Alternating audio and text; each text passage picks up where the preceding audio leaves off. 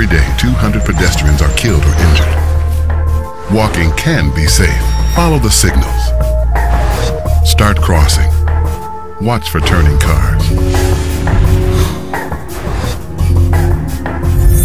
Don't start, finish if crossing.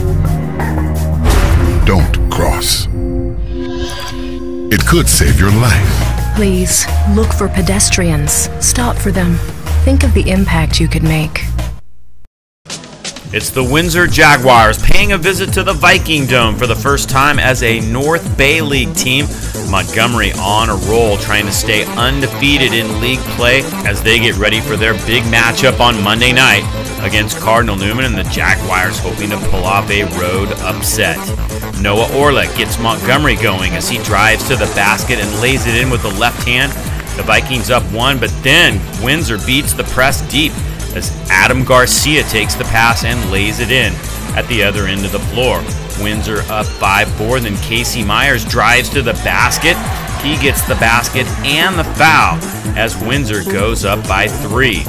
Montgomery working their offense now. It's Noah Orlick on a drive and dish to Alec Raven, and he scores.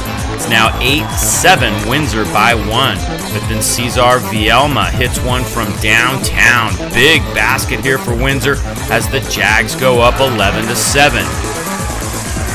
Montgomery running the floor now, and it's Alec Raven in transition who lays it in. He makes it 11 to 9. Windsor still up by two. Now with the score tied 11 11 and time winding down in the first quarter, Casey Myers launches one no good, but Jeff Freeberg is right there. He flips it back up and in, and Windsor takes a 13 to 11 lead after the first quarter. Windsor looking to add to their lead as we start quarter number two, and it's Casey Myers who flips this one up and gets the friendly roll. Windsor now up by four. Rylan Cobry now off the bench for Montgomery gives them a spark as he gets this one from 14 feet, and it's 15 13 Windsor.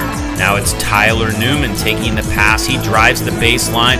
Nice ball control here as he scores. Number 15 makes it 15 to 15 with 4.15 to go. Now a long one from Cesar Vielma again as he is red hot from the outside.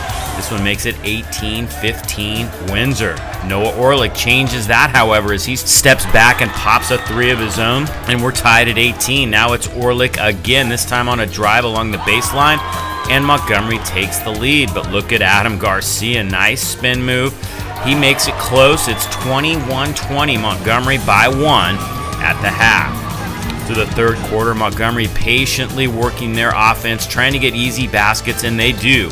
Hayden Brasha takes this one and scores for the Vikings.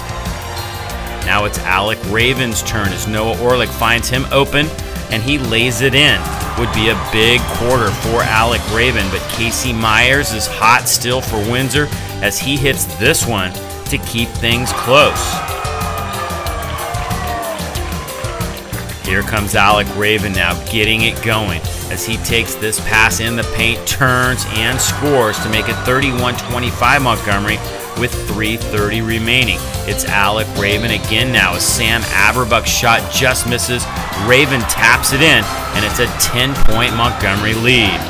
Colin McIlvain changes the momentum, however, as he hits this three pointer for Windsor as the Jaguars continue to hang in at 35 to 28. But Orlick finds Raven again. Raven with a spin and the score.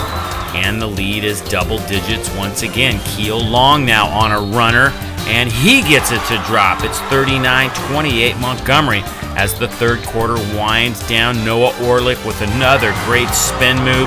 He makes it 43 to 31 as we head to the final eight minutes, and the Montgomery crowd is feeling pretty good about the way things are going. There's the miss by Keel Long, but Dakota Rowe right there with the offensive rebound. And to make things worse for Windsor, their leading scorer, Casey Myers, has just picked up his fifth foul.